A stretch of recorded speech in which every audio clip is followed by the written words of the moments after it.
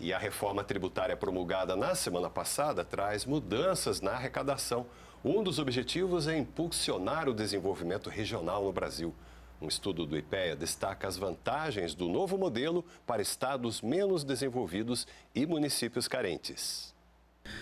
O sistema tributário reformulado define alterações na maneira como estados e municípios realizarão suas arrecadações. Com o novo modelo, a arrecadação deixará de ser realizada no local de origem, passando a ocorrer no destino.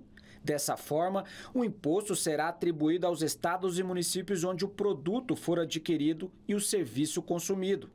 Esse mecanismo vai substituir o atual modelo de guerra fiscal pelo Fundo de Desenvolvimento Regional, com o propósito de reduzir desigualdades regionais e sociais. A guerra fiscal ela vai ser, né, ela vai ser eliminada, ela termina porque ela se alimenta justamente da cobrança do ICMS e do ISS na origem.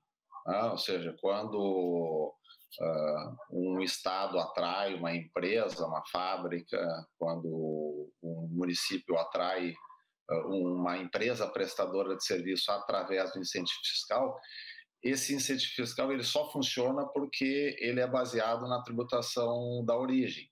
Uma vez que a tributação vá para o destino, ela pertence ao destino, não adianta um estado e um município alterarem a, a sua tributação, porque ele só vai alterar a tributação que incide sobre os seus cidadãos, do imposto que é pago pelos cidadãos de um estado ou de um município, né? Porque toda a parte das vendas que são realizadas para outros estados e para outros municípios, esse imposto não pertence mais à origem, ele pertence ao local de destino. O Fundo de Desenvolvimento Regional vai receber repasses da União. A partir de 2029, serão 8 bilhões de reais a cada ano até chegar a 40 bilhões de reais em 2033 e depois 2 bilhões de reais a mais por ano até chegar a 60 bilhões de reais anualmente. Um estudo recente do IPEA aponta que as mudanças vão beneficiar principalmente os estados menos desenvolvidos e os municípios mais pobres. De todas as cidades que têm desempenho econômico inferior à média brasileira, 98% serão beneficiadas. Para suavizar os impactos nas finanças dos governos estaduais e municipais, a reforma tributária propõe uma transição com duração de até sete anos a partir de 2026. Independente do cenário de crescimento econômico acima da média previsto com a nova regra, as alterações têm o objetivo de beneficiar a todos.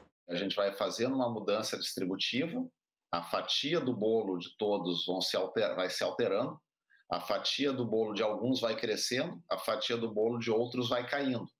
Mas como o bolo vai crescendo também, é com isso que eu evito perda. Ou seja, eu posso ter um município que, que vai ter uma redução da sua fatia do bolo, mas como esse bolo vai crescer ao longo do tempo, ele acaba não perdendo recursos.